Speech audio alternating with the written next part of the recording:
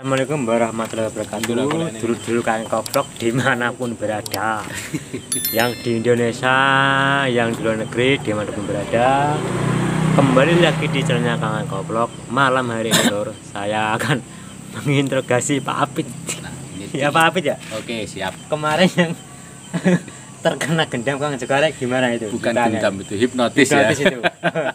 Sampai apa? Seorang Pak Haji dianggap cewek itu loh. Nah, itu Pak Apit. itu kebetulan itu anu apa namanya? subscriber juga itu ya. Nah, itu subscriber kita juga. Nanti ini mungkin orangnya juga nonton pasti ketawa-ketawa ya. Jadi itu ya namanya hipnotis kan kita tidak terasa. Ya kan? Jadi saya tahu itu setelah melihat tayangan ya, setelah saya melihat tayangan videonya baru itu saya apa itu ternyata lah memalukan itu ternyata. Berarti itu enggak sadar Pak Apit? Tidak sadar sama Di sekali. bawah alam sadar ya di bawah intinya? alam sadar namanya Sampai dilihatkan pocong terus jenengan lari ya Pak Ah, Apit ya. ah, itu ya saya Turun ya, Pak itu kan memang ya saya melihat ya itu ada pocong beneran kan. Hmm. tapi setelah di video itu kurang aja Jadi setelah jenengan lihat konten jenengan itu ketawa sendiri ya. Ketawa, ketawa sendiri wah di kurang Ya, ajar kemarin. tapi sebenarnya saya itu sudah beberapa kali ya dihipnotis sama Bang Joko itu tapi asik juga gitu loh Hmm. Asik. jadi asik juga makanya eh, akhirnya jadi memang eh, akhirnya saya mungkin ya mungkin pengen belajar hipnotis karena ya asik juga asik jadi memang apa yang ada di dalam hati ya kita tahu diungkapkan kayak kemarin itu di channelnya Kang Mujid itu kan Hmm. nah itu kan akhirnya cuma karena Kang Mujid punya kodam mungkin macan putih Iya, apa macan apa ya itu akhirnya yang keluar kan itu Iya. pada saat dihipnotis. Tapi yang jelas benar-benar orang kalau sudah dihipnotis kena gendam ya udah itu wis ndak kita ndak inget apa-apa wis. Memang kesadaran Mengikuti omongan yang itu ya, Bang apa yang Jokarek ya. siapa Bang Joko ngomong apa ya itu yang kita ikutin wis. Jadi intinya enggak setengah sadar ya, Enggak, enggak, bukan bukan setengah sadar kita wis di ndak bawah alam sadar di ya. bawah alam sadar Di bawah alam sadar loh. kita sudah ndak tahu siapa diri kita kan namanya hipnotis itu ya maka yang yang muncul kan alam bawah sadar kan Hmm. Tapi ada lucunya enggak ada hikmahnya enggak itu di apa di hipnotis itu. ya ya lu kalau kayak gitu kan buat lucu-lucuan Nah. aja buat lucu-lucuan Jadi ini lor buat menghibur apa? buat menghibur aja buat konten aja kan kayak gitu. Jadi biar ndak bosan para penonton ya lihat mungkin ikut lihat pengobatan lihat dukun-dukun. Ya ini sekarang lihat yang ringan-ringan aja lihat ringan. Melihat Pak di hipnotis lor kemarin. Hipnotis yang kemarin sing bapak-bapak tak kira cewek cantik terus melihat orang kayak melihat pocong. Nah itu kan dikerjain namanya itu sama Bang Nah itu lor, pas saya mau ngupload itu lor, tiba-tiba HP saya ngeblank lor, soalnya kan habis jadul ya maaf lor. Oh iya Pak Eko enggak punya itu ya, Nggak enggak punya punya, ya, punya kan videonya padahal Iya. kameramennya itu Pak Eko ya itu Iya, kameranya. kameramennya saya tapi itu pas saya mau upload tiba-tiba HP saya ngeblank lor. Enggak tahu kenapa ya, mungkin Hmm. Jadi karena enggak punya videonya punya. sendiri. saya lihat di channel panjenengan Pak Apit. itu saya sama Dewa Cafe itu yang punya videonya Iya, ya, sama Kang. Dewa Cafe punya ya. Sama Kang Dewa Cafe yang punya videonya. ya ginilah lor. Tanggapan Pak Apit mengenai hipnotis yang kemarin sih dituliskan Joko Arek. Nah, jadi di teman-teman itu kan kalau hipnotis kan kalau hipnotis yang buat eh, hipnotis panggung ya kayak Hmm. gitu buat lucu-lucuan, buat seru-seruan. Tapi kalau yang eh, kemarin ada sendiri yang Bang Joko Arek yang pada saat pengobatan. Iya, Nah, yang itu untuk pengobatan karena itu membantu abahnya karena memang ditugasin sama abah untuk membantu orang-orang yang pengen penyembuhan melalui hipnotis Hmm. yang kebetulan yang di sini yang eh, memang masternya kan Bang Joko Arek. Iya. Nah, itu. Dan ternyata itu juga bermanfaat, jadi bukan hanya untuk intinya ya tergantung orang yang menggunakan kalau saya mikir seperti itu.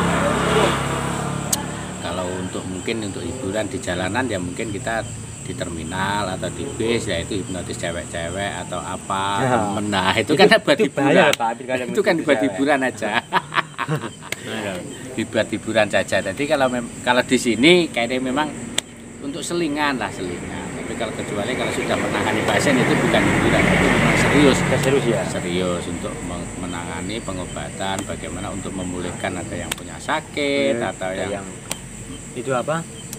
Gangguan hmm, gangguan Trauma, mental, trauma apa iya. itu bisa kayak Iya. trauma misalkan melihat ular, nah itu sebenarnya bisa dihilangkan dengan cara hipnotis.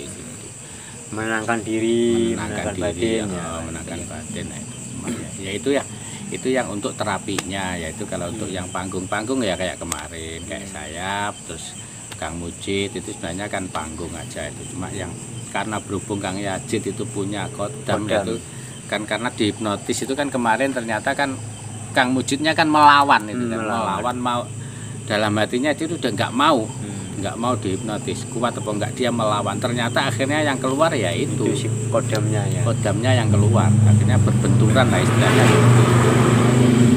Dan itu sama Bang Joko kan nggak dibikin lama kan itu cuma karena kasihan karena kaki-kakinya Kang Mujid sudah luka-luka semua kan. Kena luka-luka di semua. bawah alam sadar ya pak? Di bawah hal iya itu di bawah alam sadar sampai dia teriak-teriak ngamuk kayak gitu kan bener-bener jadi macan kan itu. Iya.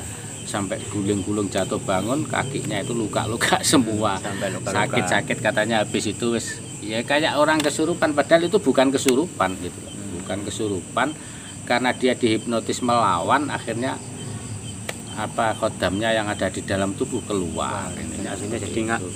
guling-guling anu kayak ya, macan kayak ya. macan kayak gitu akhirnya Itu lho. ya memang enggak, enggak pada saat itu enggak merasa sakit oh, namanya itu bukan dirinya kan Hmm. kayak gitu tapi setelah itu setelah disadarkan itu sampai kemarin itu dari mulutnya busa itu keluar keluar busanya ya? keluar busa itu. Kasihan makanya sama Abang Joko takutnya enggak kuat eh, raganya sama tenaganya makanya langsung dikeluarin ya? langsung dikeluarin di dinormalkan kembali gitu. itu memang kemarin itu memang Kang Mujid sendiri yang minta sama saya memang yang minta untuk dihipnotis, ya, sama ya. untuk bikin konten gitu aja buat hiburan untuk menghibur saudara-saudara gitu saudara-saudara semua. Biar nanti kalau saya jenuh. sudah bisa hipnotis Pak Eko kayak gini juga saya akan saya hipnotis Nanti mau belajar hipnotis loh Pak Abid loh. Katanya mau hipnotis saya loh. Berubah jadi apa? Nggak tahu.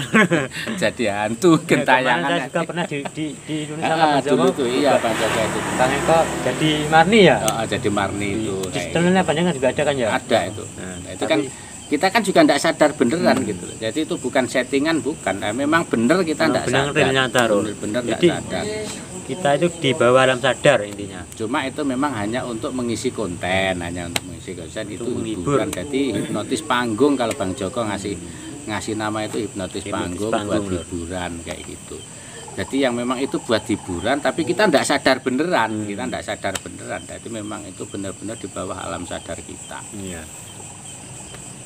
Tapi gimana tanggapan istri panjenengan? Enggak apa-apa ya, apa-apa ya. wajar saja namanya juga ya ya pasti. Kalau istri nanggepin yang paling itu ya pada saat saya dulu dihipnotis sama itu Bang Joko terus dikerjain sama opa itu Oh, kan. itu nah itu ya ya. disuruh joget-joget sama itu ya itu sempat viral itu dulu kan. sekali ya Pak, ya, pas dulu.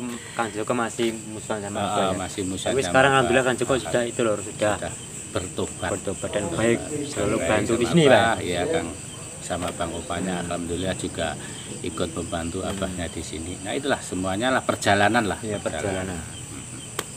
Jadi sekarang Kang- Joko itu bantu sini di ini. Hmm, bantu sini Bantu sama rupiah, Bang hipnotis bantu terapi. rupiah, hipnotis intinya bantu pengobatan karena juga banyak pasien-pasiennya Abah yang ingin ditangani dengan hipnotis Iya. alhamdulillah kan akhirnya juga bisa bermanfaat kan hipnotisnya juga bisa bermanfaat di sini Hmm. jalan ke sana Siap, siap, siap. Bisa gosok lagi di Indonesia Pak? Oke siap tetap aja namanya biar untuk menghibur Iya, teman-teman semuanya Pak untuk menghibur teman-teman semuanya Jiwa keras. Nanti katanya mau dihipnotis lagi loh. Mau pengen dihipnotis lagi loh. yang pengen dihipnotis silahkan datang ke sini ketemu sama Bang Joko Joko. Nah, akan Bisa dihipnotis ya Pak ya. Oke.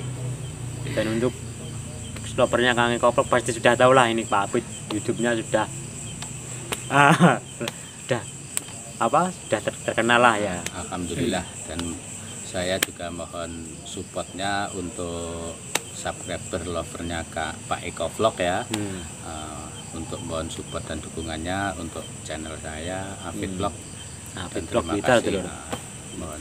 Saling membantu intinya Pak Tris Eh, ya Pak saling ya. membantu Saling mendukung, saling membantu, saling support dulur nggih.